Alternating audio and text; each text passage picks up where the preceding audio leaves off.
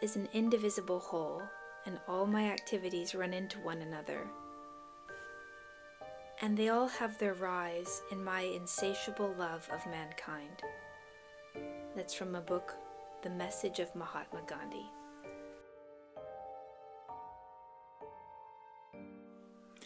Well, there you have it. Uh, the man was motivated and, and driven by nothing but love.